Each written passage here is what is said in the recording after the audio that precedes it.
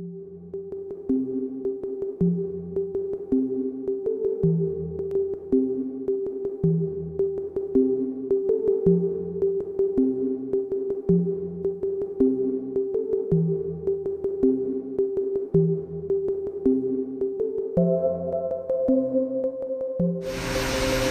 酒の場合は杯の形状で味わいが変わるので、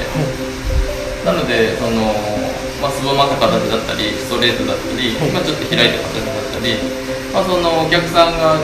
まあ、どういう使われ方するは別として、その器でもその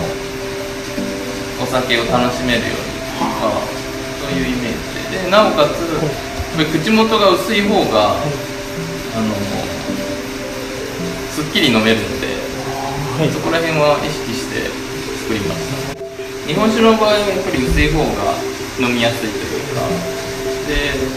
あのまあそのお酒の種類にもよるんですけど焼酎とかは